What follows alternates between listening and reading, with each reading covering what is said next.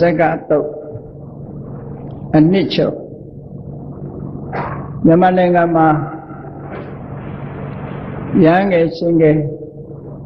ကျောင်းသားငယ်တွေကျင့်မှတ်ကြရတဲ့ပရိကြီး7တုတ်အဲ့ဒီပရိကြီး7တုတ်ထဲမှာအပါဝင်ဖြစ်တဲ့တဇက်ကတုတ်ရဲ့အကြောင်းဒီကနေ့ညနာယူမှတ်သားပြီးတော့ တဇက်ကတုတ်ရဲ့လူရင်းအနှစ်ချုပ်လိုက်တာကျင့်သုံးကြဖို့တဇက်ကဆိုတာအလံထိပ်ဖြားဆိုတဲ့အဓိပ္ပာယ်နဲ့တဇဆိုတာအလံတကွန်ကိုခေါ်အက်ကဆိုတာထိပ်ဖြားအောင်လံထိပ်ဖြားဆိုတာကို တဇက်ကလို့ဒီလိုအဓိပ္ပာယ်ရတယ်ပြေကြီးစက်တုတ်ထဲမှာတော့စင်တူရိုးမားလေးတွေအကြောင်းကိုမမှတ်နိုင်တဲ့ပုဂ္ဂိုလ်တွေအတွက်အလွန်ခက်ခဲတာဖြစ်လို့ရှင်ငယ်တွေတစ်စက်ကတုတ်လို့တစ်စက်ကတုတ်ကိုကြက်ရပြီဆိုလို့ချင်း ရှုပ်ထွေးပြီးတော့ရောထွေးကုန်တတ်လို့တဇကတုတ်ကြက်ရခဲ့တဲ့အတွက်ကြောင့်ရှင်ဖြက်တဇက်ဆိုပြီးတော့ပြောကြတယ်တဇက်ကတော့ရောက်လို့ရှိရင်တော့ကျောင်းကထွက်ပြေးတတ်တယ်လို့ဘာဖြစ်လို့တော့ဆိုတော့စင်တူရိုးမလေးတွေလာတဲ့အခါကျတော့မမှတ်နိုင်တဲ့အခါလဲနေတယ် ဝဲလဲတယ်လို့လဲနေပြီးတော့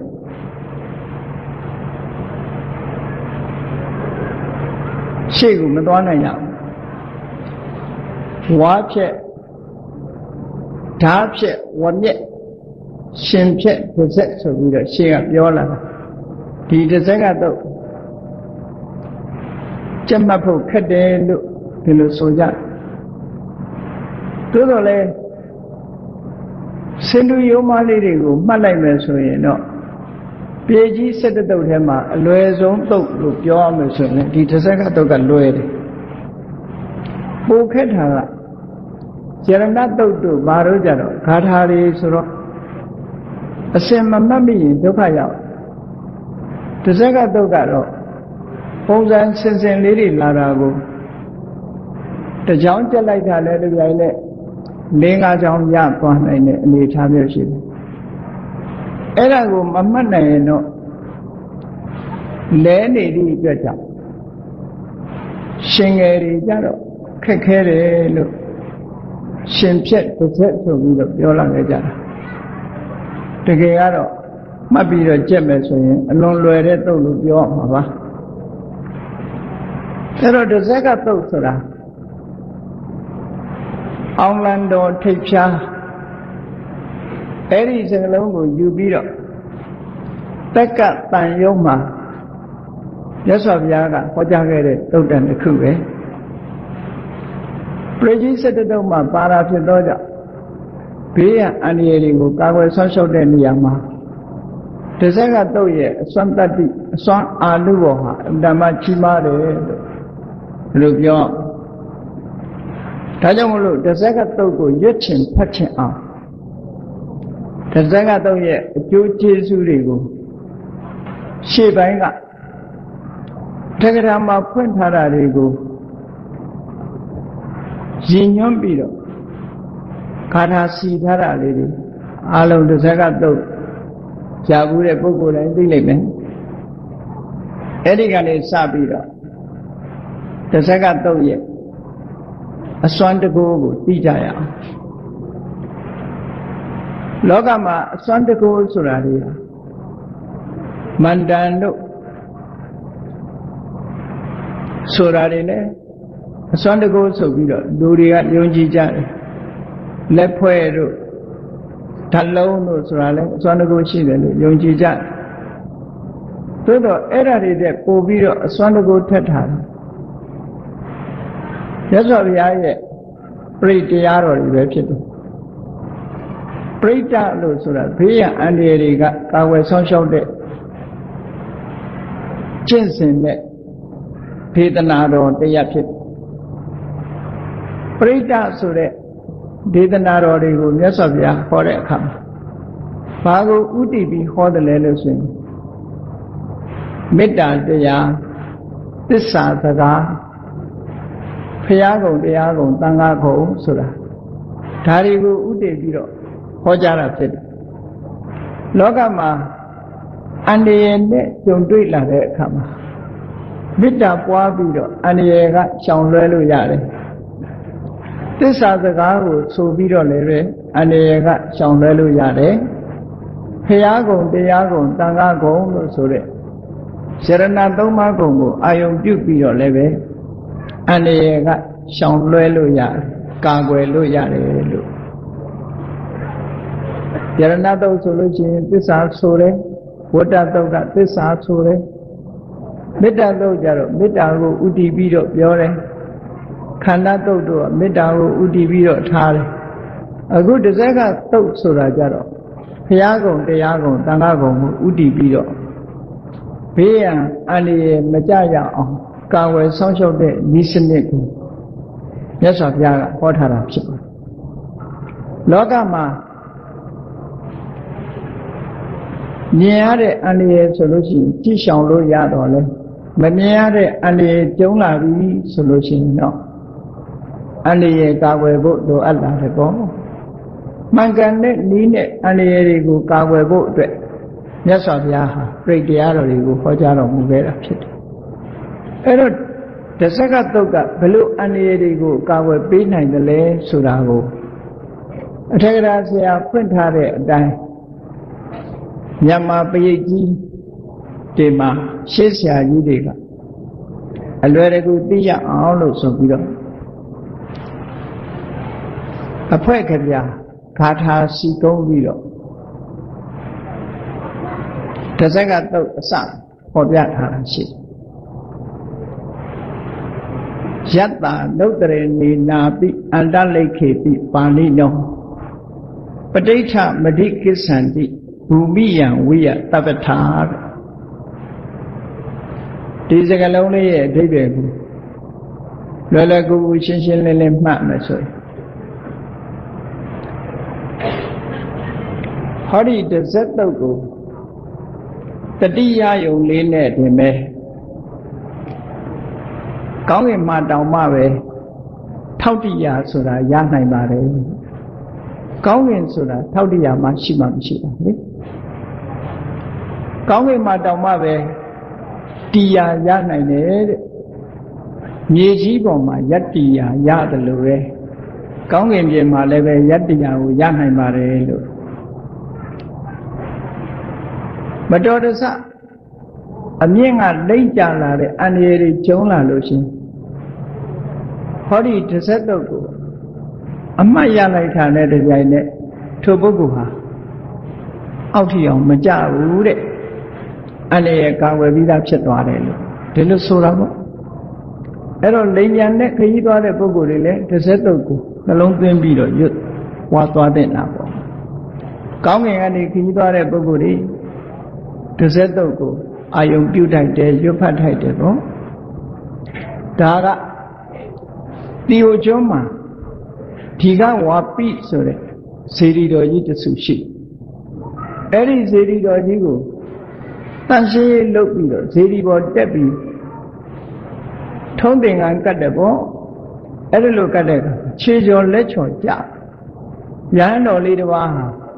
ဇေဒီထိတ်ကနေပြီးတော့ခြေကျော်လက်ချော်နဲ့အောက်လျှောကြလာတဲ့အချိန်မှာအောက်ကယဟန်တွေကလှမ်းပြီးអော်ကြတယ် ဘယ်လို့မှမတတ်နိုင်တော့တစ်ဆက်တုပ်ကိုတစ်ဆက်တုပ်ကိုအာယုပြုတ်လိုက်တစ်ဆက်တုပ်ကိုအာယုပြုတ်လိုက်လို့ဆိုတော့အဲ့ဒီကိုတော့ကတစ်ဆက်ကပရိတ္တံမန္ရခတုတစ်ဆက်ကပရိတ္တိကျွန်ုပ်ကိုစောင့်ရှောက်ပါစေလို့လဲဆိုလိုက်ရောစေရီတဲကအုတ်ချက်ကြီးနှစ်ချက်ဟာအလိုလိုထွက်လာပြီးတော့ဒီကိုယ်တော်ရဲ့ခြေထောက်အောက်မှာခံပြီးသားဖြစ်သွားတယ်ဒီလိုဆိုတာ ကောင်းငင်ကရှောကြလာတဲ့ပုဂ္ဂိုလ်တောင်မှပဲဖះဘော်ကနေအောက်လိမ့်ကြလာတဲ့ပုဂ္ဂိုလ်တောင်မှပဲဖះတဲ့ကအုတ်ချက်နှစ်ခုကဒါတကယ်ထွက်လာတာလားသူ့အတွက်အကာအကွယ်ဖြစ်သွားတာလားဆိုတာတော့ပြောလို့မရဘူးပေါ့နော်အဲ့လိုသူ့အတွက်ခြေတော့နင်းလို့ရတဲ့အရာတစ်ခုဟာခြေတော့အောက်ကလာခံလေးအတွက်ကြောင့်သူဟာ စေတီရောကလိမ့်ကြပြီးတော့အသက်ဆုံးရှုံးခြင်းမှလွတ်မြောက်သွားတယ်ဖေးရအန္တရာယ်ကြီးကင်းသွားတယ်လို့ဒီလိုပြောတယ်အဲ့ဒါကိုကြည်ရွယ်ပြီးတော့ဒီစကားကိုဆိုတာယတ္တာနုတ္တရဏေနပိအနုတ္တရဏဆိုတာအမှတ်ရအောင်းမေ့ဒီတစ်စက်ကတုတ်လေးကိုအမှတ်ရယုံလေးနဲ့ဆိုတာရွတ်တာမဟုတ်သေးဘူး ရွတ်ဖတ်တဲ့စေတာမဟုတ်ဘူးတစ်စက်ကတုတ်လေးကိုအမှတ်ရယုံလေးနဲ့ပဲကောင်းကင်မှာမြေပြင်မှာနေတယ်လို့ကောင်းကင်မှာယတ္တိယတစ်ခုရသွားနိုင်ပါတယ်လို့အမြင့်တက်တဲ့ပုဂ္ဂိုလ်တိုင်းပုဂ္ဂိုလ်တိုင်းဟာတစ်စက်ကတုတ်ကိုအမှတ်ရမယ်ဆိုရင်အမြင့်ကနေလိမ့်ကြဖို့အကြောင်းမရှိဘူးပေါ့ဒီလိုဆိုလိုတာပေါ့နော်အန္တရာယ်ကိုကာကွယ်ပေးတယ် ဒါရင်လားဆိုမကဘူးတပ်ဖုတ်ဘတ်တဝဇာလံမှာယက္ခသောရာတိတံဘဝဘလူကြောင့်ဖြစ်တဲ့ဘေးအန္တရာယ်ပဲဖြစ်စေသခိုးဓမြရဲ့ဘေးအန္တရာယ်ပဲဖြစ်စေဖြစ်ပေါ်လာတဲ့ဘေးရန်အန္တရာယ်ဆိုတဲ့အနောက်အရှက်ကွန်ရက်တွေကလည်းပဲလွတ်သွားနိုင်တယ်တဲ့ အဲ့လိုလွတ်သွားတဲ့ပုဂ္ဂိုလ်ရဲ့အရေးအတွက်ဆိုတာမရှိလောက်အောင်ကိုများပြားတယ်ဘယ်နှဦး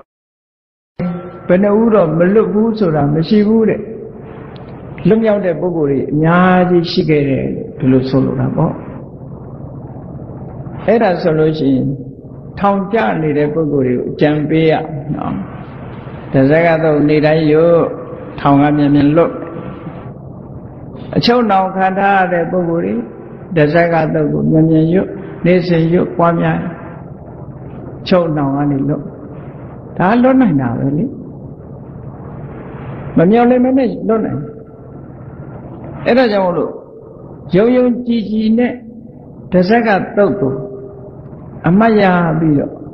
ရွတ်ဖတ်တဲ့စေမယ်သို့မဟုတ်တဇက်ကတုတ်မှာပါတဲ့အတိုင်း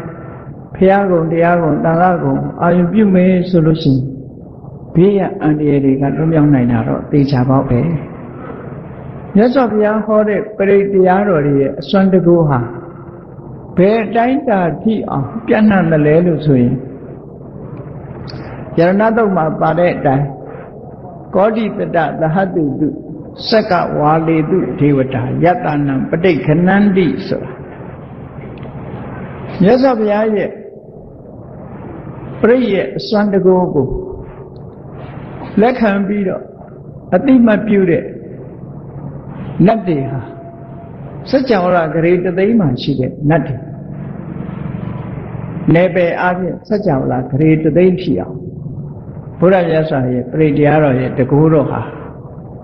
ပြန့်နှံ့နေတယ်လို့ဒီလိုဆိုလိုတာအဲ့တော့ဒီစัจ java တွေမကဘူးတခြားစัจ java စัจ java အနန္တလို့ဆိုတဲ့အတိုင်း ဒီစัจ java တွေမကဘူးစัจ java ဂရေတသိမ်းဘုရားရဲ့တရားတော်တွေရဲ့အစွမ်းတကူပြန့်နှံ့နေတာဖြစ်တော့ဘယ်နေရာဘယ်ဒေသဘယ်နေရာရောက်ရောက်ဘယ်ဒေသရောက်ရောက်တစ်ဆက်တော့ကျင့်စဉ်နဲ့ဟောကြားထားတဲ့ဒေသနာတော်တွေကိုတတိယပြီးတော့ရွတ်ဖတ်ပွားများမယ်တရဇယ်မယ်ဆိုလို့ရှိရင်အခုပြောတဲ့အကျိုးတွေ လက်တွေ့ခံစားကြရမှာဖြစ်တယ်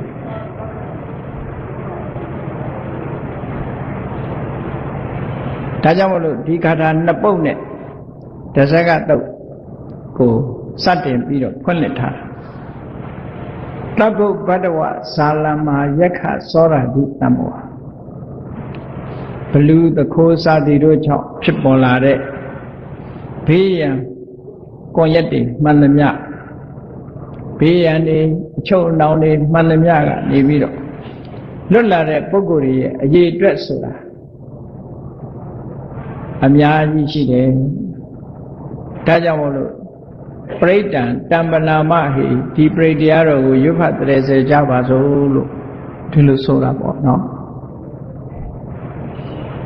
အဲ့တော့ဒီပြိဋ္ဌာတခြားပြိဋ္ဌိနဲ့မတူတာ တခြားပြိဋ္ဌိနဲ့မတူတာဘာလဲလို့ဆိုရင်ကောင်းကင်မှာပဲဖြစ်ပါစေမြေကြီးပေါ်မှာလို့ယတ္တိယာရနိုင်ပါတယ်လို့ဆိုတာတခြားပြိဋ္ဌိမှာမပါတဲ့စကားတစ်ခုပဲပေါ့အဲ့တော့ဒီနေရာမှာဆက်နွယ်ပြီးတော့ပြောမယ်ဆိုလို့ရှိရင်လူတွေဟာရှည်တဲ့ရောက်နေရင်လည်းထောက်တိရဆိုမရနိုင်ဘူးအဲ့တော့ ရေထဲမှာလည်းထောက်တိရရဖို့အတွက်တစ်ဆက်ကပြိတ်ကိုရွတ်ဖတ်တရစေတဲ့နဲ့ရေချောင်းခရီးသွားလာတဲ့ပုဂ္ဂိုလ်တွေမြစ်ကိုဖြတ်တန်းတဲ့ပုဂ္ဂိုလ်တွေပင်လယ်ခရီးကိုဖြတ်တန်းသွားတဲ့ပုဂ္ဂိုလ်တွေ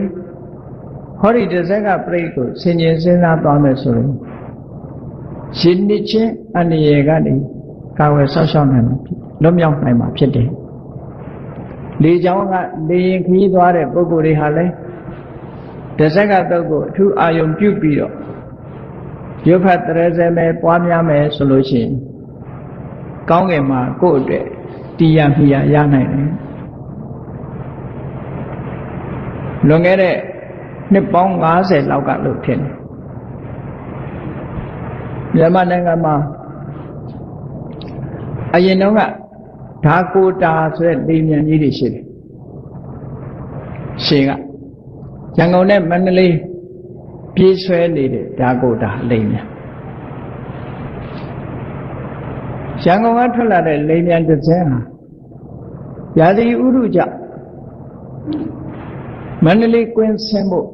လာတဲ့အခါမှာအမတ်တမဲ့မန္တလေးကွင်းရောက်ပြီလို့ဆိုပြီးတော့လေရင်မြန်ကိုနှိမ့်ချလိုက်တဲ့အခါမှာ လေရင်မြန်ကရာသီဥတုကြောင့်လမ်းကြောင်းကပြောင်းနေတာပိုင်းလောကသတိမထားမိတဲ့အခါနှိမ့်ချလိုက်တော့ဘာဖြစ်လဲဆိုရှမ်းတောင်ဓာန်ကြီးနဲ့သွားပြီးတော့တိုက်မိလိုက်ရာသီဥတုကလည်းဆိုးဝါးနေတဲ့အချိန်အောက်မြင်ကွင်းကလည်းမရှိတဲ့အချိန်လေရင်ကွင်းရောက်ပြီလို့ဆိုတဲ့အတိနဲ့လေရင်ကိုနှိပ်ပြီးဆင်းလိုက်တဲ့အချိန်မှာ ရှမ်းတောင်တန်းတွေကတောင်တွတ်တစ်ခုနဲ့တိုက်လိုက်တာလေရင်စီးလာတဲ့လူတွေဒိန်းဆိုတဲ့အတန်ကြီးပဲကြားလိုက်ရတယ်လေရင်ဟာအဲ့ဒီမှာတိုက်ပြီးတော့ပြက်ကျသွားတယ်အဲ့ဒီပေါ်မှာမန္တလေးသားတယောက်ပါလာသတင်းစာထဲမှာဖတ်လိုက်ရတယ်သူကတလန်းလုံးဖျားကုန်အာယုပြုပြီးတော့ပရိစိတ်လာ အဲ့တော့တစ်စက်ကတော့မှလည်းပဲဒီဟာကိုဟောထားတာဗုဒ္ဓနုတ္တိဆိုသူကလည်းဗုဒ္ဓနုတ္တိဖျားကုန်ကိုအာယုပြုပြီးတော့ပရိစိတ်လာတဲ့ပုဂ္ဂိုလ်လေရင်နဲ့တောင်တို့တိုက်လိုက်တဲ့အတန်ကြီးဒိန်းဆိုတာကြားပြီးတော့သူလည်းတတိမေ့သွားတတိယလို့ကြည့်လိုက်တဲ့အခါကျတော့ဝါချုံကြီးတစ်ခုပေါ်မှာသူရောက်နေတယ်ဘလောက်ကံကောင်းလို့ဆိုတော့နော်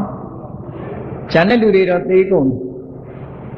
သူကဝါချုံကြီးပေါ်မှာရောက်တတိရတဲ့အခါမှာဝါချုံပေါ်မှာသူတင်းနေမနာမကျင်ဝါချုံပေါ်ရောက်အဲ့ဒါလက်တွေ့မှန်ကန်တဲ့အကြောင်းအရာတစ်ခု true story ပေါ့မြန်မာနိုင်ငံမှာတကယ်ဖြစ်ပျက်ခဲ့တာသူလည်းပဲတစ်စက်ကတုတ်ဆိုတယ်ဘုရားခုံအာယုံပြုတ်ပြီးတော့နေတဲ့အချိန်မှာ အခုလိုလေမြန်ပြစ်ကြတဲ့အချိန်သူဟာဝါချုံသေးဟိုတော့မိရတစ်ခုသူရလိုက်တယ်လို့သူပြောအဲ့ဒီချိန်တုန်းကအမတ်တရသတင်းစာတို့ဖတ်ဖူးတဲ့လူတွေပါရင်ဒီသတင်းကြားဘူးမှာပါတကယ်ဖြစ်ပျက်ခဲ့တာပေါ့အေးဒါကြောင့်မို့လို့ဒီတစ်စက်ကတုတ်ဟာ ယတ္တာနုတ္တရနေနပိတစ်စက်ကတုတ်ကိုအမှတ်ရယုံလေးနဲ့အတလိခေပိပါဏိနောပဋိဋ္ဌမတိကိသန္တိဘူမိယံဝိယတပ္ပတာအခါကသိမြေကြီးပေါ်မှာလို့ကောင်းကင်မှာလည်းပဲထောက်တရားကိုရနိုင်ကြပါတယ်တဲ့ဟော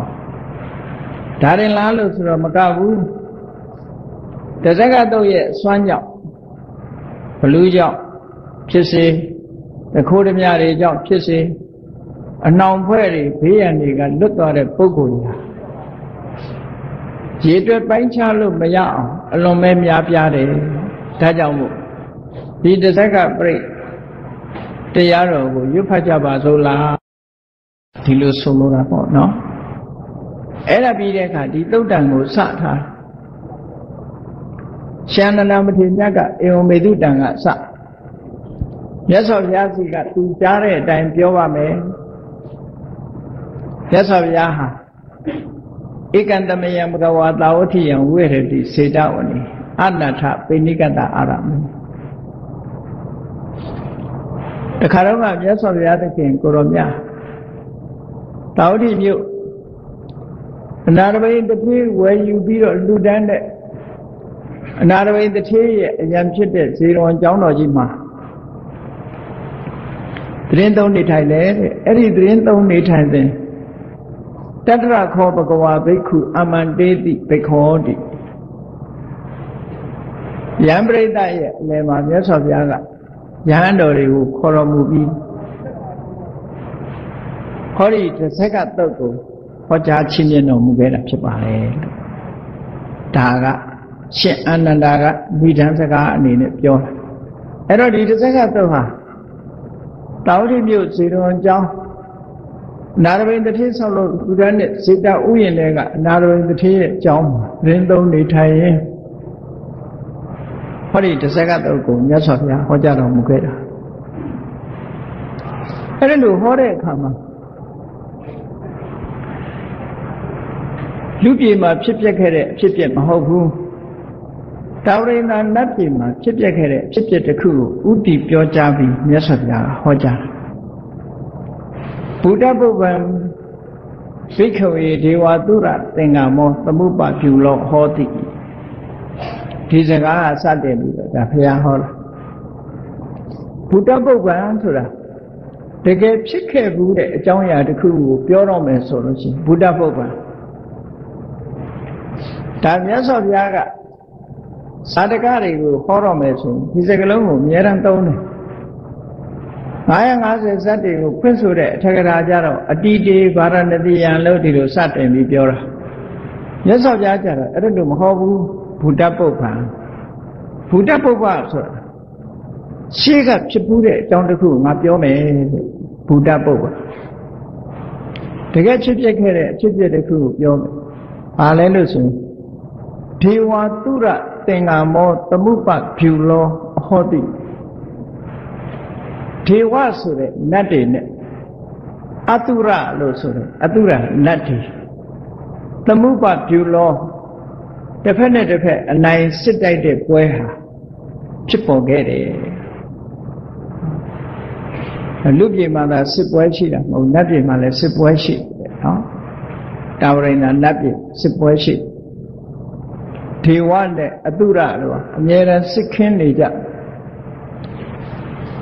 ဘာဖြစ်လို့စစ်တိုက်ကြသလဲနတ်တွေဟာ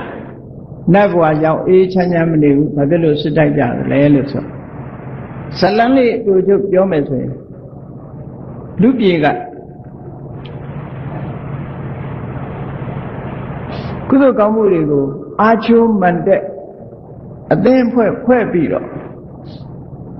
မဆလရွာက မခလူလင်လူ33ယောက်ပါဝင်တဲ့ကုသိုလ်ကောင်းမှုလုပ်တဲ့ပုံရသဟာယဖွဲ့လူပြေမှာအတ္တတရောကုသိုလ်ကောင်းမှုတွေကိုလုပ်သွားတဲ့ဒီပုဂ္ဂိုလ်တွေဟာကုသိုလ်ရဲ့စွမ်းအားကြောင့်တာဝရိန္ဒနတ်ပြည်ကိုရောက်သွားကြတယ်။သိတဲ့အခါမှာတာဝရိန္ဒနတ်ပြည်သွားဖြစ်တယ်။အဲတာဝရိန္ဒနတ်ပြည်သွားဖြစ်တဲ့အခါကျ သူတို့ရဲ့အရင်ဖြစ်နေနေတဲ့နတ်တွေရှိသို့သောသူတို့နဲ့ဘာကွာလဲလို့ဆိုရင်အရင်ဖြစ်နေနေတဲ့နတ်တွေကသူတို့လောက်တကူအရှင်ကွာမရှိကြဘူးနောက်ရောက်လာတဲ့မကလူလင်အမှုပြုပြီးတော့နောက်ရောက်လာတဲ့တာဝရိန္ဒနတ်တွေကနတ်တွေကပို့ပြီးတော့တကူအရှင်ကွာတွေကြီးမားလာတယ် နတ်တစ်တွေရောက်လာပြီလို့ဆိုတဲ့အခါမှာငကိုရှိနေတဲ့နတ်တွေကဘာလုပ်ကြလဲလို့ဆိုလူကြီးတိုးလာတယ်နတ်ဦးကြီးတိုးလာတယ်ဆိုပျော်ကြတော့ပျော်တော့သူတို့ပျော်ပွဲစားဖို့တောက်ဖို့စားဖို့ဒိဗ္ဗပါဏလို့ဆိုတဲ့နတ်အဖြော်ယမက ခုခေတ်လို့ခေါ်ရင်တော့ဘီယာတို့အရက်တို့ပေါ့နော်နတ်ပြည်မှာလည်းဘီယာတောက်တဲ့လူအရက်တောက်တဲ့လူကရှိတယ်လူပြည်မှာလည်းပဲခုတောက်လိုက်ကြတဲ့အရက်တို့ဘီယာတို့ကအရင်တော့ကတော့ငငယ်တော့ကြားတာအရက်တောက်တာအမျိုးသားတွေပဲတောက်တယ်မျိုးသမီးမတောက်ခုမျိုးသမီးတွေကကြိုက်ရက်တွေကြိုက်လာကြတယ်ပြောတယ်အဲ့တော့ ဒီဘီယာနဲ့အရက်ကလူပြည်တွေမကဘူးနတ်ပြည်ပါရောက်အဲ့ဒီတုန်းကလေးကရောက်ရှိနတ်တည်းရောက်လာတဲ့အခါကျတော့အဲ့ခန္ဓာပေါ့သူတို့ကနတ်အရက်တွေနဲ့အဲ့ခန္ဓာလို့ဆိုပါဘူးအဲ့ဒီကြတော့တရားမင်းကြီးကအခုနောက်မှရောက်သွားတဲ့မကလူလင်အမှုပြုတဲ့နတ်တွေကခေါင်းဆောင်လုပ်တဲ့နတ်က တရားမင်းပေါ့သူကမျက်ရည်ပြထားတယ်မင်းတို့မတော့ကြနဲ့ဒီရေတောက်ရင်မူးလိုက်တယ်မူးရင်ကွာမသိမှာမဟုတ်ဘူးမတော့ကြနဲ့သူတို့နဲ့ရောနှောပြီးတောက်ချင်အောင်ဆောင်းမတော့ကြနဲ့လို့ချက်ပေးထားဟိုနတ်တွေကတော့ပျော်ပြီးတော့တောက်လိုက်ကြတာမူးယူနေပြီဆိုတဲ့အခါကျတော့ တကြမင်းကမူးလဲနေတဲ့အဲ့ဒီနတ်တွေကိုတာဝရိန္ဒတောင်ထိပ်ကနေပြီးတော့အောက်ကိုပြစ်ချတာတယောက်ပြစ်ချလိုက်တာနဲ့သူတို့အုပ်စုတစုလုံးအောက်ကျသွားဘယ်ရောက်သွားတော့ဆိုမြင့်မတောင်ချေရောက်သွားဒီနေရာမှာမြင့်မတောင်ရှာတဲ့သူကလည်းရှားနေတော့ဘူးနော် အင်တာနက်မှာခွန်ကြီးတို့လှမ်းပြီးတော့မြင့်မို့တောင်ဘယ်နှရှိလဲအဲ့တော့မြင့်မို့တောင်ဘယ်နှရှိတုံးလို့မြင့်မို့တောင်ဟာဘယ်ဟာလဲလို့မေးမယ်ဆိုလို့ရှိရင်ဘလို့ဖြေရမလဲလို့စကိုင်းတောင်လို့တောင်တောင်ဆိုရင်တော့ရှာလို့တွေ့မှာမဟုတ်ဘူးနော်စာပေကျမ်းဂန်ကိုတည်တည်ချာချာနှံ့နှံ့ဆက်ဆက်ကြည့်ကြည့်မယ်ဆိုလို့ရှိရင် အခုလောကမှာယုံကြည်နေတဲ့ကဘာလုံးကြီးပေါ့အခုလူပြေရဲ့တရားဖြစ်တဲ့ကဘာလုံးကြီးကဘာချိုကြီးလို့လည်းခေါ်အဲ့ဒီကဘာချိုကြီးရဲ့အမြင့်ဆုံးဟာဒီကနေ့အခေါ်နဲ့ပြောမယ်ဆိုလို့ရှိရင်မြောက်ဝင်ရိုးဆုံးထိတ်တယ်အဲ့ဒီမြောက်ဝင်ရိုးဆုံးကအမြင့်ဆုံးလို့ဆိုတော့မြောက်ဝင်ရိုးစွန်းထိတ်မြင့်မို့တောင်ဖြစ်နိုင်တယ်ပေါ့။ဘာဖြစ်လို့တော့ဆိုတော့စာထဲမှာ မြင့်မို့တောင်ထိတ်မှာတာဝရိဏနတ်ပြည်ရှိတယ်တဲ့။မြင့်မို့တောင်အောက်ခြေမှာအတုရနတ်ပြည်ရှိတယ်တဲ့အလဲခါးပန်းမှာကျွန်းကြီးလေးကျွန်းနဲ့ရန်ထားတဲ့လူပြည်ရှိတယ်ဆိုတော့လူတွေကမြင့်မို့တောင်ရဲ့ခါးပန်းမှာနေကြတာလေမြင့်မို့တောင်ရဲ့ခါးပန်းမှာနေတာကိုနေတဲ့နေရာကြီးကအမှန်တမ်းကြီးမားသည့်အတွက်ကြောင့် ဒီတောင်ကြီးရှားမတွေ့ပဲနဲ့ဖြစ်ဘယ်တွေ့မှာတော့ကိုနေတာကတောင်ခပန်းမှာနေတောင်နာကတ်နေတဲ့လူကတောင်ပဲရှားတွေ့နိုင်မလို့အကြီးကြီးကိုနော်အသေးလေးဆိုရင်တွေ့နိုင်မှာပေါ့စာပေကျမ်းဂန်ရအဲ့လိုသတ်မှတ်လို့ရအဲ့ဒီမှာမြင့်မို့တောင်ထိတ်ကနေပြီးတော့နတ်တွေကိုအတုရာတွေကိုပြစ်ချလိုက်တဲ့အခါကျ တောင်ခပန်းလောက်ရောက်တဲ့ဒီတောင်ခပန်းလူပြေမှာပင်လေကြီးတွေရှိတာကိုအဲ့ဒီပင်လေကြီးတွေထဲရောက်တဲ့အခါကျတော့အတုရာနတ်တွေကအရက်မူးပြေသွားတယ်ပြေသွားတော့သူတို့ရဲ့အမားကိုသိသိပြီးတော့နောက်မတော့တော့ပါဘူးဗျနောက်မတော့တော့ပါဘူးဗျလို့អော်ရတယ်တဲ့နတုရံပိဝိမနတုရံပိဝိမနောက်ဘယ်တော့မှမတော့တော့ပါဘူးဒီအရေးကို ငူးနေတော့ပြစ်ချက်ခံလဲရတဲ့အခါမှာနောင်တရပြီနောက်မတော့တော့ပါဘူးလို့အော်ရင်းနဲ့အောက်ကျသွားကြတာသူတို့ရဲ့ဘုံကအားလျော်စွာမြင့်မတောင်ခြေမှာအတုရနတ်ဘုံဆိုတာဖြစ်သွားတယ်တဲ့နတုရံပိဝိမသုရဆိုတာပေအရက်ကိုပြောတာဒီသေးအရက်ကိုနောက်မတော့တော့ပါဘူးလို့ဆိုတဲ့စကားလုံးကိုအကြောင်းပြုပြီးတော့အတုရာလို့သူတို့အဲ့ဒီကလေးကစပြီးခေါ်လာခဲ့တာ တရားမင်းအမှုပြုတဲ့နောက်ရောက်လာတဲ့နတ်တစ်တွေကိုတော့ဒေဝလို့ခေါ်တယ်အဲ့ဒီအရက်ဘူးလို့ပြစ်ချခံလဲရတဲ့နတ်တွေကိုတော့အတုရာလို့ခေါ်တယ်အဲ့ဒီကလေးကသူတို့မတည့်ကြတော့ဟောအဲ့ဒီကလေးကမတည့်ကြခုခေတ်စကားနဲ့ပြောမယ်ဆိုလို့ရှိရင်နတ်ပြည်ကိုတက်ပြီးတော့သိမ့်လိုက်တာပေါ့နော်သိမ့်ပြီးတော့အဲ့ဒီအရက်တော့တဲ့အကောင်ကြီးအကုန်နှင်ထုတ်လိုက်တာ နှင်ထုတ်လိုက်တာအရက်မတော့တဲ့နတ်တွေကနေရာလူယူလိုက်တယ်ပေါ့နော်အဲ့တော့နတ်ပြည်ကနှစ်ပြည်ဖြစ်သွားအတုရနတ်ပြည်နဲ့တာဝရိန္ဒနတ်ပြည်ဆိုပြီးတော့နှစ်ပြည်ဖြစ်သွားတယ်သို့တော့အမျိုးအစားအဖြစ်တော့အတုရာတွေလည်းတာဝရိဏနတ်တွေတာဝရိဏနတ်ပြည်မှာကပင်လေကတိပင်ပွင့်တယ် အတုရာနတ်ပြည်ကျတော့တခုတ်ပင်ရှိတယ်တခုတ်ပွင့်ပွင့်တယ်အဲ့ဒီတခုတ်ပွင့်ပွင့်တဲ့အခါကျတော့မှဟာဒုနေရာကပင်လေကတိပင်ပွင့်လာပါအခုတခုတ်ပင်ဖြစ်နေပါလားဆိုပြီးတော့ဒုနေရာမဟုတ်ဘူးဆိုပြီးအဲ့ဒီအချိန်ကျတော့နေရက်ကိုတတိယပြီးတော့သူတို့တာဝိန္ဒနတ်ပြည်ကိုတက်ပြီးတော့စစ်တိုက်ကြတာလေ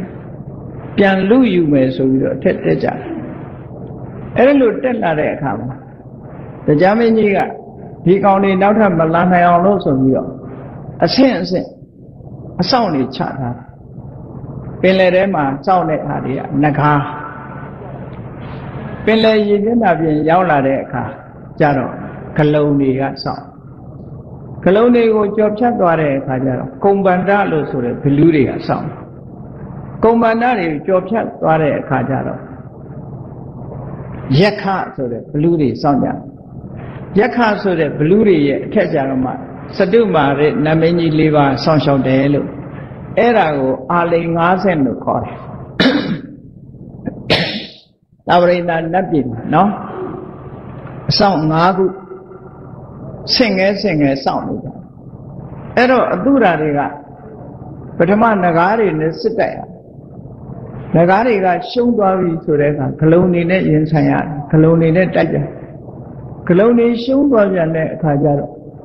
ကုံပန္ဒဆိုတဲ့ဘလူးတွေနဲ့တိုက်ရတယ်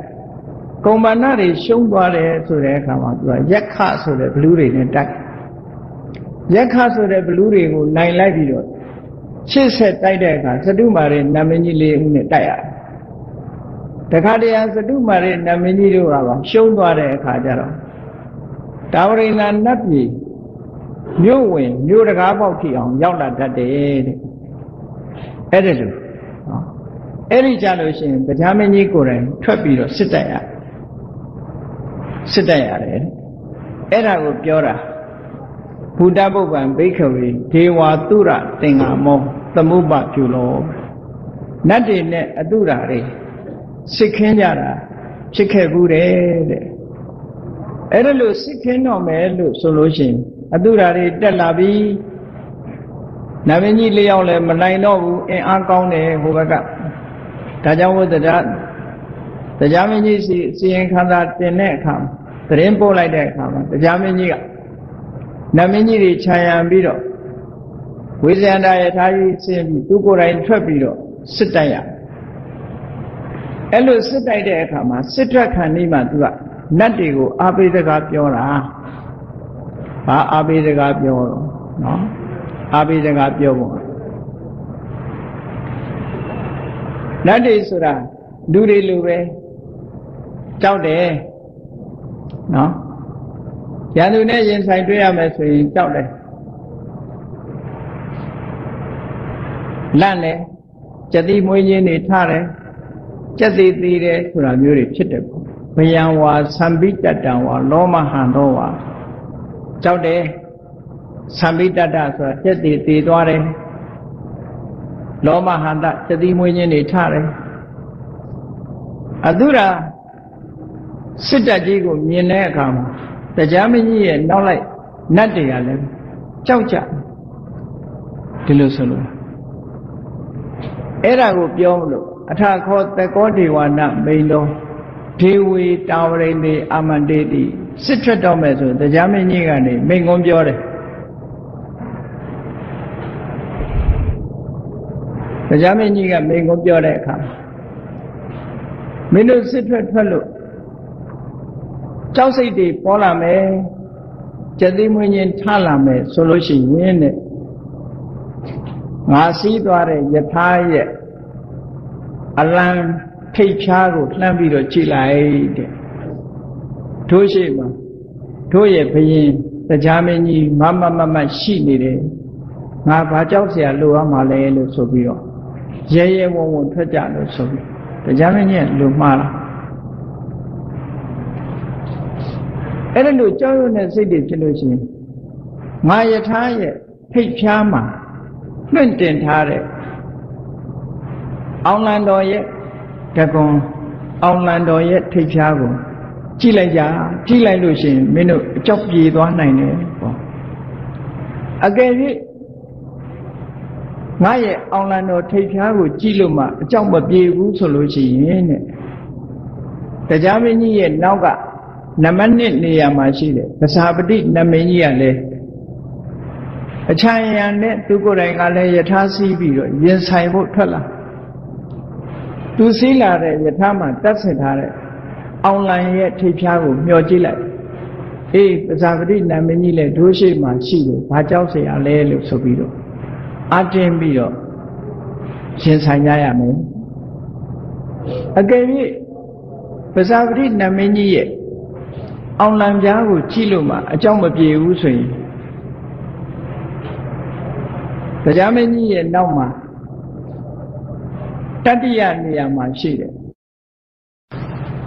ဝရုဏနမင်းကြီးရဲ့အောင်လံထိပ်ဖြားကိုကြည့်လိုက်တဲ့ကြောက်စိတ်တွေပြေသွားလိမ့်မယ်တခါဝရုဏနမင်းကြီးရဲ့အောင်လံထိပ်ဖြားကိုကြည့်လို့မှကြောက်စိတ်မပြေဘူးဆိုလို့ရှိရင်ဤတာလဆိုတဲ့နမင်းကြီးရဲ့အောင်လံထိပ်ဖြားကိုကြည့်လိုက်ပါတဲ့ကြည့်လိုက်လို့ရှိရင်ကြောက်စိတ်ပြေသွားလိမ့်မယ်လို့တရားမင်းကြီးကစစ်ထွက်ခံနေမှာအဲ့ဒါလို့အာဘိစကားပြောပြီးတော့အတုရာတွေနဲ့ရင်ဆိုင်တိုက်ရတယ် စစ်ပွဲအချိန်တွေတခုလို့မြတ်စွာဘုရားဟောအဲ့တော့တရားမင်းကြီးရဲ့အောင်လံထိပ်ဖြားကိုကြည့်လို့ပဇာပတိနမင်းကြီးရဲ့အောင်လံထိပ်ဖြားကိုကြည့်လို့ဝရုဏနမင်းကြီးရဲ့အောင်လံထိပ်ဖြားကိုကြည့်လို့ဣတာနနမင်းကြီးရဲ့အောင်လံထိပ်ဖြားကိုကြည့်ပြီးတော့ရဲတဲ့နဲ့စိတ်တွေပေါ်လာပြီးတော့အကြောက်ပြေကောင်းလည်းပြေနိုင်တယ်ပြေချင်မှလည်းပြေမယ်မြတ်စွာဘုရား ပြေချင်လည်းပြေသွားနိုင်တယ်မပြေချင်လည်းမပြေဘူးဘာဖြစ်လို့တော့ဆိုတော့တခါတရံကြတော့အတုရာတွေနဲ့စစ်ပွဲတိုက်တဲ့အခါမှာတရားကိုယ်တိုင်ကလစ်ပြီးပြေးရတာရှိသေးတယ်ဟိုဘက်ကအင်အားတွေတအားများလာရင်သူကိုယ်တိုင်ရှောင်ထွက်ပြီးတော့ပြေးရတယ်ဒါကြောင့်မို့တံကိတ္တဟေတုသက်ကောထေဝနမိန်တော် ဘာဖြစ်လို့တရားမင်းကြီးဟာပြေးရတာအဝိတရာဂောသူမှာရာဂဆိုတဲ့တွေ့တာမှုတွေမကင်းဘူးအဝိတဒေါသောအမုန်းတရားလည်းသူ့မှာမကင်းဘူးအဝိတမောဟတွေ့ဝေစိတ်တွေလည်းသူ့မှာမကင်းဘူး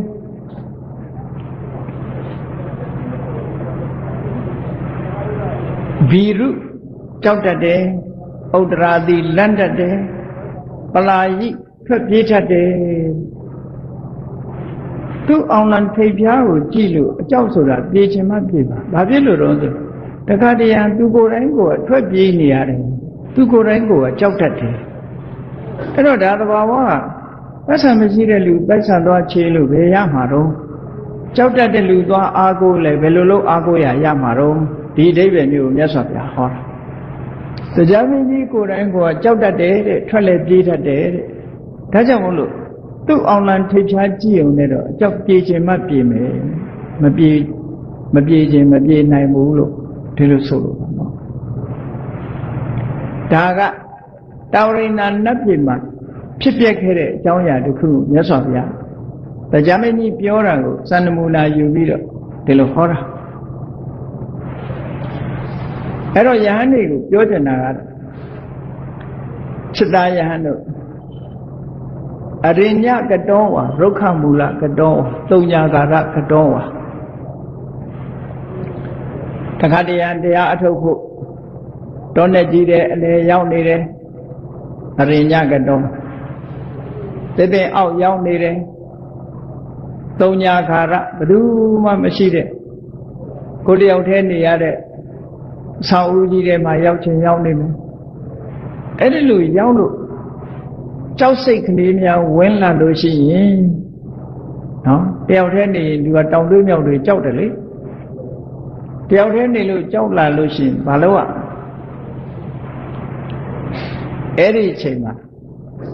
ငါဖះကိုအမှတ်ရလိုက်ကြတဲ့ဣတိပိသောဘဂဝါအရဟံသမ္မာသမ္ဗုဒ္ဓောဝိဇာစရဏတမ္ပန္နောသူကတောလောကဝိတုအနုတ္တရောပုရိသဓမ္မတာရတိ တတ္ထာဒေဝမနုဿာနံဘုဒ္ဓောဘဂဝါလို့မြတ်စွာဘုရားကိုခုံကြီးတွေနဲ့ကပ်ပြီးတော့မှတ်ရကြဖို့မြတ်စွာဘုရားအေးတော်တဲ့ရောက်နေပဲတယောက်တည်းနေမယ်တစ်ပင်အောင်ရောက်နေမယ်စိတ်ညင်ရအဆောက်အဦတစ်ခုတည်းရောက်နေမယ်အဲ့ဒီအချိန်မှာကြောက်စိတ်လေးဝင်လာလို့ရှိရင်ငါ့ကိုအမှတ်ရလိုက်လို့ဒီလိုပြောတာဘယ်လိုအမှတ်ရမလို့ဆိုရင်အေး ရှင်ဘုန်းတော်သခင်ရှင်တော်မြတ်ဖရာဟာကိလေသာဆိုတဲ့ယန္တုတွေကိုအကုန်ဖယ်ရှားပြီးလို့အရဟံဆိုတဲ့ဂုံနဲ့ပြည့်စုံပါပေတယ်မြတ်စွာဘုရားမှာဒီလိုကြောက်စိတ်တွေမရှိဘူးကိလေသာတွေအလုံးကုန်ခန်းပြီးပြီဖယ်ရှားပြီးပြီဆိုတဲ့ခုံကြီးကနေပြီးတော့လည်းအမှတ်ရလို့ရတယ်သမ္မာသမ္ဗုဒ္ဓအမှန်တရားတွေကိုကိုယ်တိုင်သိတယ်ဆိုတဲ့ ခုံကြီးကနေပြီးတော့လည်းအမှတ်ရလို့ရတယ်ဝိဇ္ဇာစရဏတမ္ပန္နောအတိညာနဲ့အကျင့်တရားတွေရှိတယ်ပြည့်စုံတယ်ဆိုတဲ့ဘက်ကလည်းတတိယလို့ဖြစ်တယ်သူကတော့မှန်ကန်တဲ့နိဗ္ဗာန်ကိုကြွသွားတယ်သို့မဟုတ်မှန်ကန်သောစကားကိုသာမိန့်ကြားတော်မူတတ်တယ်ဆိုတဲ့ခုံကြီးနဲ့လည်းမြတ်စွာဘုရားကိုတတိယမယ် လောကဝိတုလောကအကြောင်းကိုကုံစင်အောင်သိတော်မူတယ်ဆိုတဲ့ရှုထောင့်ကလည်းပဲမြတ်စွာဘုရားကိုအမှတ်ရမယ်အနုတ္တရောပုရိသဓမ္မတာလည်းအထိဆုံးမတိုက်တဲ့ပုဂ္ဂိုလ်ဆုံးမတဲ့နေရာမှာတော့အသာဆုံးပဲဆိုတဲ့ဒီခုံကိုအာယုံပြုတ်ပြီးတော့လည်းမြတ်စွာဘုရားကိုအမှတ်ရတတ္တရိဝမနုဿနာလူတွေနတ်တွေကိုသွန်သင်ဆုံးမတဲ့အင်တမထူးခြားမြင့်မြတ်တဲ့ဆရာကြီးတူဖြစ်ပါပေတယ်လို့ ဆိုတဲ့ခုံကြီးတွေကနေပြီးတော့လည်းပဲငါကိုအမှတ်ရလို့ရတယ်ဘုရားသစ္စာလေးပါးကိုအများသိအောင်ဟောပြောတယ်ဆိုတဲ့ခုံကြီးချင်းကလည်းပဲဘုရားကိုအမှတ်ရလို့ရတယ်ဘဂဝါဘုံတော်6ပါးနဲ့ပြည့်စုံတယ်ဆိုတဲ့ဒီစွမ်းရည်တတ္တိတွေဘက်ကလည်းပဲဘုရားကိုအမှတ်ရလိုက်ပါလို့ဟောမြတ်စွာဘုရားက ဘယ်ခုံကြီးချင်းဘယ်ရှုတော့ကနေနေဘုရားကိုအမှတ်ရလိုက်တာနဲ့တပြိုင်နက်ဘာဖြစ်ဘယံဝါသံမိတတံဝါလောမဟံသောဝါသောပဟိရိတ်တိတဲ့ကြောက်တာတွေပျောက်သွားလိမ့်မယ်စိတ်နှလုံးတုန်လှုပ်တာတွေပျောက်သွားလိမ့်မယ်ကြက်သီးမွေးညင်ထတာတွေပျောက်သွားလိမ့်မယ်စမ်းကြည့်ပေါ့မောင်ထဲမှာတယောက်တည်းကြောက်စိတ်ပေါ်လာလို့ရှိရင်ဘုရားကိုအာရုံပြုနော် ဘုရားကိုအာရုံပြုလိုက်လို့ရှိရင်ကြောက်စိတ်တွေပျောက်သွားလိမ့်မယ်လို့မြတ်စွာဘုရားဒီလိုဟောတာအကယ်၍ငါဘုရားကိုအာယုံမပြုတ်ဘူးဆိုလို့ရှိရင်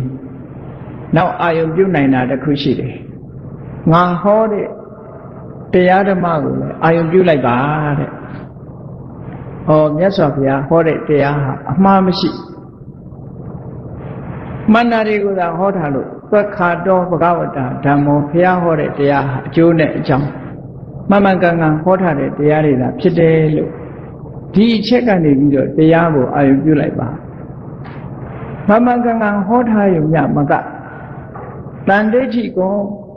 မမှန်ကန်ကန်ဟောထားသည့်အတွက်ကြောင့်ကိုယ်တိုင်လည်းသိနိုင်တယ်ဆိုတဲ့အချက်ကနေပြီးတော့ဓမ္မကိုအာရုံပြုလို့ရတယ် ကိုယ်တိုင်သိနိုင်တဲ့အခါဘယ်လောက်စောင့်ရမလဲဆိုမစောင့်ရဘူးအခုအခုသိအခုအကျိုးပြရတယ်ဆိုတဲ့အကလိကရှုတော့မှလည်းပဲတရားကိုအမှတ်ရအခါဆိုင်ပြမလို့ပဲနဲ့အကျိုးပေးတာဖြစ်တော့ကြောင့်ကိုယ့်ရဲ့မိတ်ဆွေငငယ်ချင်းတွေကိုလာပြီးတော့ကြည်စမ်းပါလို့ဖိတ်ခေါ်ပြတတ်တဲ့တရားမျိုးလည်းဖြစ်တယ် ဘာဖြစ်လို့ဖိတ်ခေါ်ပြရတယ်လဲလို့ဆိုရင်ဩပနေယိကစိတ်แท้ကိုတရားပို့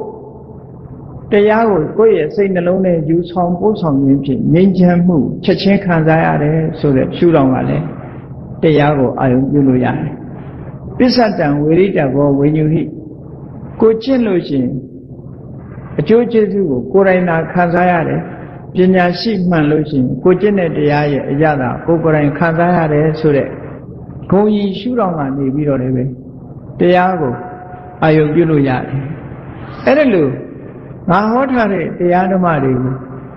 အချိန်ချင်းမှန်မှန်တတိယလိုက်တာနဲ့တပြိုင်နက်ဘာဖြစ်ဘယံဝါသံပိတတံဝါလောမဟံသောဝါတောပိဟိယိတတိကြောက်တာတွေပြေသွားလိမ့်မယ်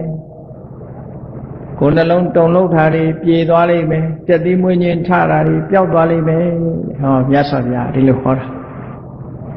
အကယ်၍များဓမ္မကုံကိုအာယုံမပြုတ်ဘူးဆိုရင်နောက်အာယုံပြုတ်เสียတစ်ခုရှိသေးတယ်တန်ခါခုံကိုအာယုံပြုတ်လိုက်ပါတန်ခါခုံကိုအာယုံပြုတ်တဲ့အခါသုပတိပန္နောဘဂဝတောတာဝကတံကောမြတ်စွာဘုရားရဲ့တပိတာဝကဟာ မှန်ကန်တဲ့အကျင့်တွေကိုကျင့်ပါပေတယ်လို့နိဗ္ဗာန်ကိုရောက်ဖို့ကျင့်တဲ့အခါမှာအကျင့်မှားနေရင်မရောက်နိုင်ဘူးဒါကြောင့်မို့မှန်ကန်တဲ့အကျင့်ကိုကျင့်ပါပေတယ်လို့ဟောဒီဟာနဲ့ပတ်သက်ပြီးတော့လေတန်ခါကိုအာရုံပြုလို့ရတယ်ဟောနောက်တစ်ခုကမှန်ကန်တဲ့အကျင့်ကိုကျင့်တယ်ဆိုတဲ့နေရာမှာဥစုပฏิပန္နောဘဂဝတောတာဝကတာမှန်ကန်တဲ့အကျင့်ဆိုတာ လွဲမှားနေတဲ့အကျင့်မျိုးကိုရှောင်ရှားလို့မစ္စည်းမပฏิပဒါဆိုတဲ့ဖြောင့်မှန်တဲ့အကျင့်ကိုကျင့်တာကာမတုခလိကာနုယောဂဆိုတဲ့အကျင့်ကိုရှောင်တယ်အတ္တကိလေသာနုယောဂဆိုတဲ့အကျင့်ကိုရှောင်တယ်တပည့်ဆက်ကြမှာလာတဲ့တွေးမိဘိက္ခုအန္တာလို့ဆိုတဲ့အစွန်းရောက်တဲ့အကျင့်တစ်ခုကိုရှောင်ပြီးတော့ အလယ်လမ်းကြောင်းတိုင်ဖြောင်းဖြောင်းမမကျင့်တာဥစုပတိပန္နာဖြောင်းဖြောင်းကျင့်တယ်ဆိုတဲ့ဒီအကျင့်ကနေပြီးတော့လည်းပဲအရိယာတန်ဃာတော်တွေကိုအမှတ်ရလို့ရတယ်ညာယပฏิပန္နောဘဂဝတောတာဝကတံကိုဒီနေရာမှာညာယဆိုတာနိဗ္ဗာန်ကိုခေါ်တာညာယပฏิပန္နောနိဗ္ဗာန်ရောက်စေနိုင်တဲ့အကျင့်ကိုကျင့်နေကြတယ်လို့ဒီလိုအာယုပြုလို့ရတယ် သာမိစိတ်ပฏิပန္နောအကျင့်နဲ့ယလအဗ္ဗမစီလျော်တာဖြစ်သောကြောင့်မှန်ကန်တဲ့အကျင့်ကိုနိဗ္ဗာန်ရောက်ဖို့အကျင့်ကိုကျင့်တဲ့ထဲမှာတကယ်ကိုနိဗ္ဗာန်ကိုရောက်ရစေနိုင်တဲ့အကျင့်မျိုးအကျင့်နဲ့အကျိုးဟာလိုက်လျောညီတွေရှိတယ်လွယ်မှားမှုမရှိဘူးမှန်ကန်တဲ့အကျင့်ကိုကျင့်တယ်တာပိစိတ်ပฏิပန်နောလို့အဲ့ဒါကကျင့်ကြံနေမှုနဲ့ပတ်သက်ပြီးတော့ တန်ခါကုံကိုအာယုံပြုဖို့အချက်၄ချက်ပဲခုံကြီး၄ချက်ပဲအဲ့ဒါလို့ကျင့်နေတဲ့ပုဂ္ဂိုလ်တွေမဂ္ဂထပုဂ္ဂိုလ်၄ယောက်လို့ခေါ်တယ်အဲ့ဒီမဂ္ဂထပုဂ္ဂိုလ်၄ယောက်ဒီလိုကျင့်တဲ့ဖြင့်ရလာတဲ့အကျိုးကျေးဇူးကတော့၅မျိုးရှိတယ်ပေါ့အဲ့ဒါကြောင့်မို့ယတိတံစတ္တာရိပုရိတယုခာနိလေးစုံဆိုတော့၈ယောက်လို့ပြောတာအထပုရိတပုဂ္ဂလာတဲ့ အရေးတွေအဖြစ်၈ဦးမကထပုဂ္ဂိုလ်၄ယောက်ဖလထပုဂ္ဂိုလ်၄ယောက်အရေးတွေအဖြစ်၈ယောက်အဲ့ဒီ၈ယောက်သောပုဂ္ဂိုလ်တွေမင်္ဂနဲ့အချင်းတွေကိုကျင့်လာလို့ရလာတဲ့ထေစုတွေကဘာတော့ဆိုအာဟုနေယောခေါဏတုန်းကသုပတိပန္နောဥသုပတိပန္နောညာယပတိပန္နောသာမိစိတ်ပတိပန္နောအဲ့ဒါကတန်ခါကုံ၄ခု အခုအာဟုနေယောကနေစပြီးတော့အနုတ္တရံပုံညခိတံလောကတထီအောင်က၅ခုဒါကိုတန်ခါကုံ၉ပါးလို့ခေါ်တာနော်ယတိတံသတ္တာရိပုရိသယုဂာနိအထပုရိသပုဂ္ဂလာကိုထည့်ပြီးတော့မရေတွက်နဲ့ဒါကမကထအရိယာပုဂ္ဂိုလ်ရဲ့တရုပ်ကိုထုတ်ဖော်ပြလာတာဖြစ်တယ်မကထပုဂ္ဂိုလ်တွေကျင့်နေတာကသောပတိပန်တော်ဥဇုပတိပန်တော် ညာယပတိပန်တော်သာမိစိတ်ပတိပန်တော်ကျင့်နေစေပုဂ္ဂိုလ်ကျင့်လို့အောင်မြင်သွားပြီဆိုရင်ပါလေအာဟုနေယောအဝေးရဆောင်းယူလာတဲ့ပစ္စည်းနိုင်ငံခြားတိုင်းပြည်တွေကဝေးလံတဲ့ဒေသကယူလာတဲ့ပစ္စည်းကိုလှူတိုက်တဲ့ပုဂ္ဂိုလ်ဒီလိုဒီခုံကြီးတွေကိုရသွားတယ်ပါဟုနေယောအိမ်မှာဧည့်သည်လာရင်ကျွေးဖို့ဆိုပြီးတော့ တိတိတန်တန်ထားတဲ့ပစ္စည်းမျိုးကိုလည်းဟောဒီတန်ဃာကိုလှူတိုက်တယ်လို့ပါဟုနေယောအာဟုနေယောပါဟုနေယောဒက္ခိနေယောဓမ္မလုံးဘဝပြောင်းသွားတဲ့ပုဂ္ဂိုလ်တွေကိုရည်စူးပြီးတော့ကုသိုလ်ကောင်းမှုလုပ်မယ်လုပ်တဲ့အတိုင်းမှာဓမ္မလုံးဘဝပြောင်းသွားတဲ့ပုဂ္ဂိုလ်မှာအကျိုးကျေးဇူးတွေရဖို့ဆိုတာနေလဲ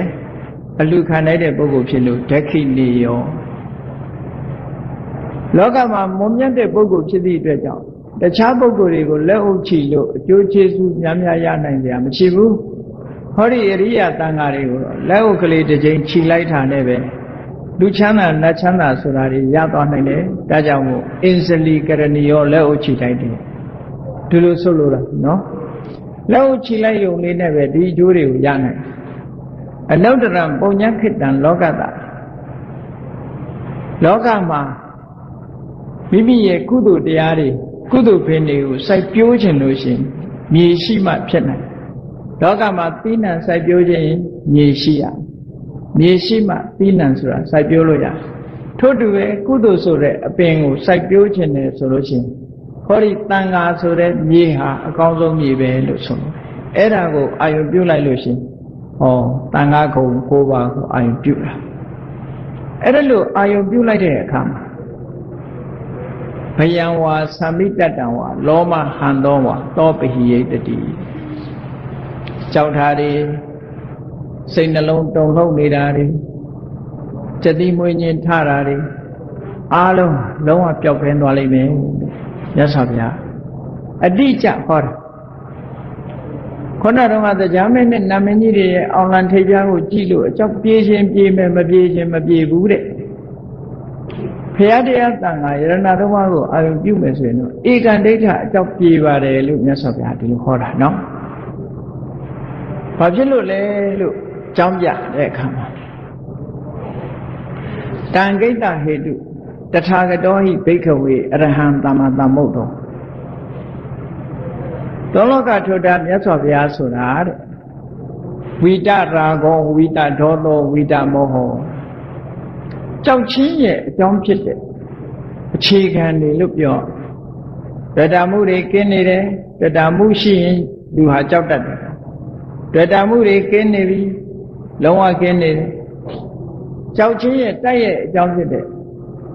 ဝိတဒေါသောဒေါသဆိုတာလဲလုံးဝပျောက်ကင်းနေတယ်အမှန်မသိတဲ့မောဟဆိုတာလဲလုံးဝပျောက်ကင်းလို့ဝိတမောဟ ဥတည်ပြီးတော့တရားဟောနေတယ်မြတ်စွာဘုရားသခင်ကိုရောမြတ်ကြီးမှာရာဂဆိုတာလုံးဝကင်းတယ်ဒေါသဆိုတာလုံးဝကင်းတယ်မောဟဆိုတာလုံးဝကင်းတယ်ဒါကြောင့်မို့အဘိရုအသံတိအနုတ္တရာတိအပလာယိအဘိရုဆိုဘုရားဘယ်တော့မှမကြောက်ဘူးကြောက်စိတ်ဘယ်တော့မှမပေါ်ဘူးကြောက်စိတ်ပေါ်တယ်ဆိုတာဒေါသစိတ်ကိုပြောတာဒေါသဟာကြောက်တယ်တစ်ဖက်ကဒါကြောင့်မို့မြတ်စွာဘုရားမှာဒေါသ ဖယ်ရှားပြီးဖြစ်သောကြောင့်အဘိရုဘယ်တော့မှမကြောက်ဘူးတဲ့ကြောက်တဲ့စိတ်မရှိဘူးအသံဘိတဲ့စိတ်နှလုံးတုံလောက်တာမရှိဘူးလူတွေကတုံသွားတာပဲဆိုကြောက်ရင်တုံသွားတယ်လေအဲ့ဒါလို့တုံသွားတာမျိုးလည်းမရှိဘူးအနုတ္တရာတိလန့်သွားတာလည်းမရှိဘူးအပလာယိကြောက်လို့ထွက်ပြေးတယ်ဆိုတာပဲရှိအခုချိန်မပြောနဲ့ဖះမဖြစ်ခင် မဟာဗောဓိပင်အောက်မှာဒီကနေ့တရားသူတရားမြတ်မရရင်ဒီပလင်ကမထတော့ဘူးလို့ဒိဋ္ဌံတဲ့ချိန်မနမင်းကစစ်တပ်တီးနဲ့ချင်းချောက်ပြီးတော့လက်နဲ့တွေအမျိုးမျိုးနဲ့ကြောက်လန့်တုံလို့အောင်လှုပ်တာတောင်မှပဲမကြောက်ခဲ့ဘူးလေဖះဖြစ်တော့ပဲကြောက်မလဲအေးဒါကြောင့်လို့မြတ်စွာဘုရားဟာဘယ်တော့မှကြောက်တာလန့်တာတုံလို့တာမရှိဘူး ဘာဖြစ်လို့ကြောက်ချင်းလန့်ချင်းတုံလို့ချင်းကင်းရတယ်လဲလို့ဆိုရင်ရာဂဒေါသမောဟလုံးဝကင်းသွားလို့ပဲလို့ဟောတရားမင်းကြီးကြတော့ဒါကတော့တော့မောဟမကင်းနေဘူးမကင်းတော့ကြောက်တတ်တယ်တုံလို့တတ်တယ်လန့်တတ်တယ်ထွက်ပြေးတတ်တယ်ရသော်ဘုရားကြတော့အဲ့ဒါတွေလုံးဝမရှိဘူးအဲ့တော့ဆိုလိုတာကပိုက်ဆံမရှိတဲ့လူကိုငွေသွားချရင်ပိုက်ဆံဘယ်ရမလဲပိုက်ဆံချမ်းသာတဲ့လူကိုငွေသွားချရင်တော့ပိုက်ဆံရမှာပေါ့ မကြောက်တတ်တဲ့ဘုရားကိုအာယုံပြုမှကြောက်စိတ်ဆိုတာပြေမှာပေါ့ဒီလိုဆိုလိုတာပေါ့နော်ရသော်ဘုရားကလုံးဝကြောက်စိတ်ကင်းတဲ့ပုဂ္ဂိုလ်ဖြစ်လို့ရသော်ဘုရားကိုအာယုံပြုခြင်းအဖြစ်ကြောက်ချင်းလန့်ခြင်းတုံ့လုံခြင်းဆိုတဲ့စိတ်ထဲမှာဖြစ်ပေါ်လာတဲ့အရာတွေဟာလုံးဝပျောက်ပြီးတော့စိတ်နှလုံးအေးချမ်းမှုကိုရနိုင်ပါတယ်လို့ဒီလိုတစ်စက္ကန့်တော့ရဲ့အဓိပ္ပာယ်ကဒီလိုအဓိပ္ပာယ်ရှိတာနော်ဒါကြောင့်မို့လို့ မြတ်စွာဘုရားကအေးဖရာတရားတန်ခါယရဏသုံးပါးတဲ့မှာဖရာကိုအာယုံပြုလိုက်တဲ့ဖရာကိုအာယုံပြုလိုက်လို့အကြောင်းတွေပြေသွားလိမ့်မယ်အဲ့ဒီလိုမဟုတ်လို့ရှိရင်တရားကိုအာယုံပြုလိုက်အကြောင်းတွေပြေသွားလိမ့်မယ်တရားကိုအာယုံမပြုဘူးဆိုရင်တန်ခါကိုအာယုံပြုလိုက်အကြောင်းတွေပြေသွားလိမ့်မယ်လို့ဟောဖရာတရားတန်ခါယရဏသုံးပါးကိုအာယုံပြုခြင်းအဖြစ် ကြောက်ရွံ့ထိတ်လန့်တုန်လှုပ်ခြင်းဆိုတာဒီအလုံးပျောက်ကင်းသွားနိုင်ပါတယ်လို့ဟောဒီတစ်ဆက်ကတုတ်ကိုမြတ်စွာဘုရားကဒီလိုဟောလို့ရင်းဖြစ်ပါတယ်အေးကျင်းညုတ်ထပ်ပြီးတော့ပြောရမယ်ဆိုလို့ရှိရင်တရားမင်းကြီးရဲ့စစ်ပွဲမှာတရားမင်းကြီးကမင်းတို့ကြောက်စိတ်ဝင်လာလို့ရှိရင်ငါရဲ့အလံထိပ်ပြားကိုကြည့်လိုက်ကြကြောက်စိတ်ပြေလိမ့်ပဲဘာအလံထိပ်ပြားကိုမမြင်ရဘူးဆိုရင်ဗဇာပတိနတ်မင်းကြီးရဲ့အလံထိပ်ပြားကိုကြည့်လိုက် ကြောက်စိတ်တွေပြေသွားလိမ့်မယ်ဗဇာပတိနတ်မင်းကြီးရဲ့